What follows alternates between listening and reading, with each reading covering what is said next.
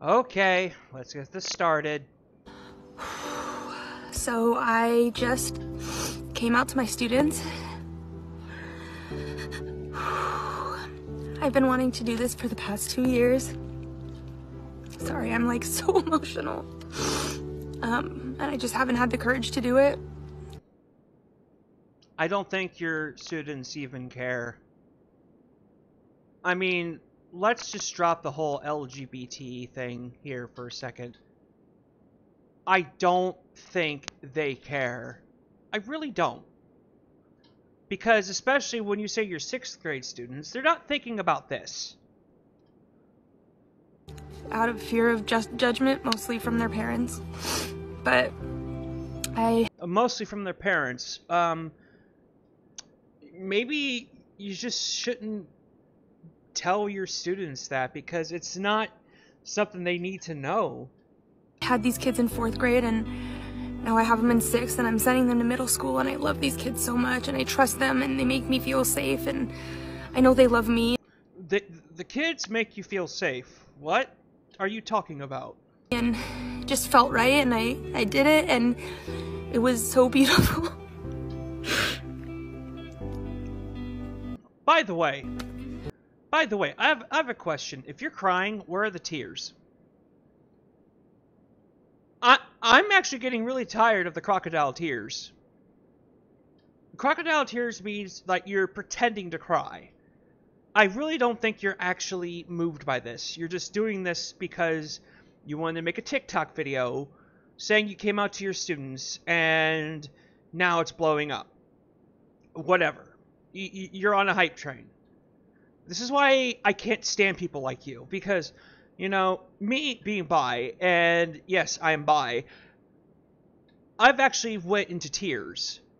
Actually had tears rolling down my face, thinking that I was just wrong in being who I am when I was in my 20s or even in my teens.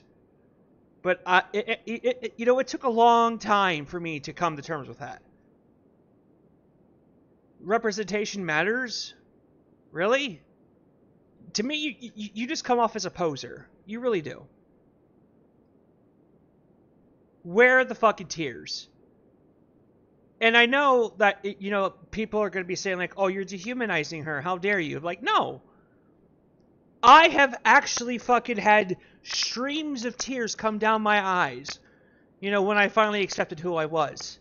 And, you know, be, be, uh, you know, finally owning up to what I chose to be, who I am. This person, I don't know if they're faking it.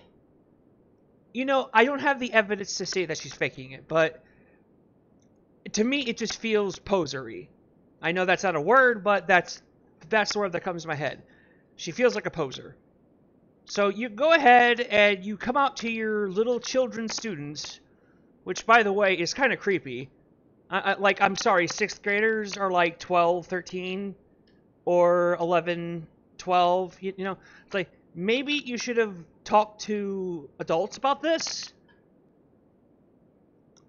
Like like i'm sorry like why would you tell kids who don't even understand their own sexuality about what what what you came out as. It, it, it makes no sense to me. It, it makes no bloody fucking sense.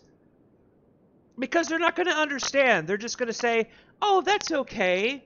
You know, be whatever you want." Because they are fragile. They want to make people happy. Kids for the most part. They don't understand adult issues like this one. So, you having a fit over this? It's not going to mean much when the kids actually start understanding what you told them. Some of them are probably going to feel offended that you came out about about whatever your sexuality is and probably going to feel very uncomfortable. This is why you don't talk to kids about your sexuality, you adult woman. They had so many questions, which I loved. Uh-huh, sure. Mm-hmm. Yeah, they had so many questions like, why are you telling me this? I don't even know what you're talking about. They wanted to learn and they wanted to learn about me and Uh, I don't think so. they were so eager and Eager to what? Because this is sounding really predatory now. This is sounding like predatory behavior. They were really eager, not them being predators, but you preying on them. a few of them clapped, which was And they clapped! They clapped! Oh, oh, oh, okay, you know what? I'm done. Uh, lady, listen here. First off, I have to tell you one thing. The nose ring, get rid of it. You know, it doesn't look good on you. Or you can keep it. I don't give a fuck. But uh, if you want actually want to be attractive, uh, get rid of that thing.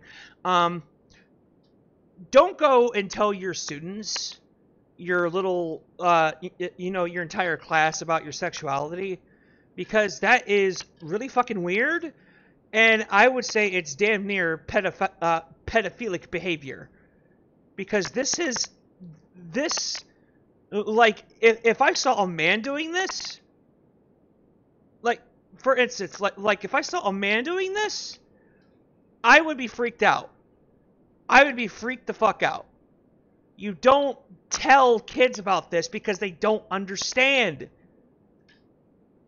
If you want them to understand, you know, tell them when they're like 16, when they have better knowledge of it. Like, give me a. Oh my god.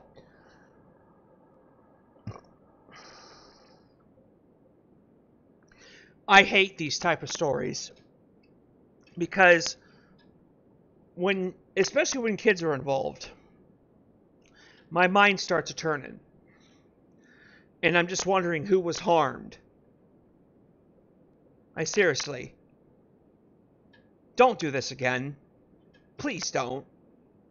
Because this this went from you being uh well, I came out and then everyone was happy to borderline fucking creepy and pedophilic. Stop telling children about your sexuality. Stop smiling about this, by the way. This is psychopathy. Oh my goodness, a bunch of kids give you, gave you validation. As you put it. I don't fucking care. Congratulations. Uh, I, I hope you didn't harm any of those kids, but I'm thinking that you probably did. Goodbye.